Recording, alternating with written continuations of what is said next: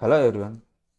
After a month of calculation, I got to know how many number of questions does the Marrow app contains. It turns to be around 20,595 questions.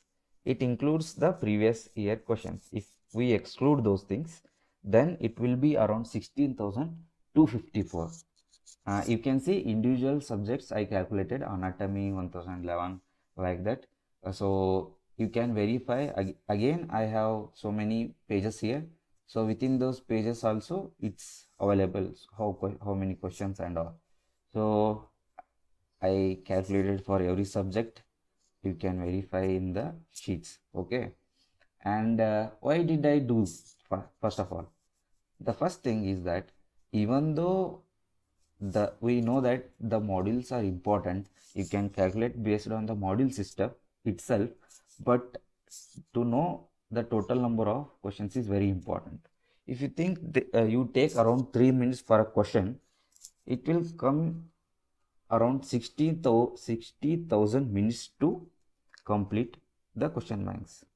And it takes around 1000 hours to complete all the question all the question banks and the questions of the marrow so if you consider 1000 hours you need to give 10 hours each day without break that requires 100 days so if if anyone planning to finish off within 3 months it will be very hectic for you so it i think uh, uh, it needs at least 6 months to complete the QBank.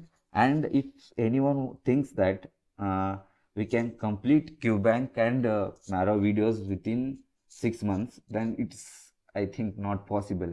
Uh, you need a year to complete both those things, videos plus uh, previous previous year questions plus all the modules, and also in between you will solve grand test, subject wise test. So so many different things will be there that's why uh, to know how many questions and to strengthen your subject wise capacity it requires this table. I don't know how you guys will make use of it but uh, i think uh, it will be helpful for you. So it took lot of energy effort. So if you like it then share it with your friends. They needs the most. And uh, thanks for listening to me. Uh, after a long time i am recording.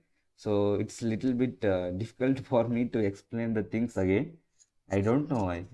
So thanks for listening